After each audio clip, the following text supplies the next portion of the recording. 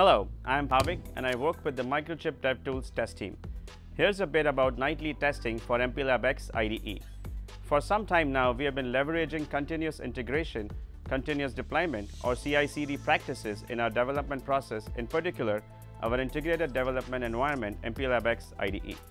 Today, I'd like to quickly summarize the nightly test flow that we employ to reduce the duration of the feedback loops between development and test team. At the end of each day, the IDE build is run through a series of end-to-end -end hardware integration tests orchestrated by Jenkins pipelines.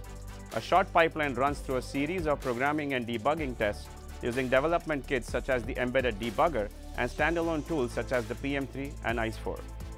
This takes about 45 minutes to complete and test reports are sent out via email and a dedicated IM channel. If the short pipeline passes, a longer pipeline is started which runs for about 4 hours.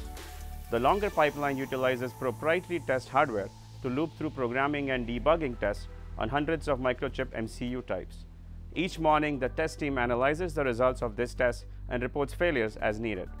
If an IDE build passes all the tests, it is automatically promoted to stable and posted to an internal site to be accessed by an internal customer. Thanks for watching. For more information, please go to the CI/CD webpage linked in the description below and stay tuned for more bits.